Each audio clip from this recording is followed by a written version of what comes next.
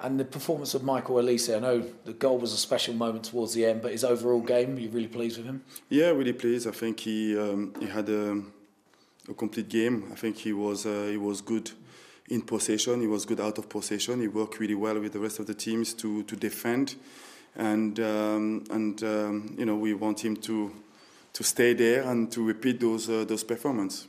I know there's been a lot of focus on him off the pitch for his interview post match. Have you spoke to him about the responsibilities of a footballer when they're in front of a camera and what he has to expect, and with videos potentially going viral as well? you know, those kind of things that what's going on on on the net or going viral, that is something that you can't control. You understand what I mean? So, Michael is a young player and is developing on the field, off the field, and um, and you know that is as well who is his personality and. Um, you know, you ask him the question, he gives you the answer. So. And how's his reaction been to that video going viral like that? Has he reacted positively to it?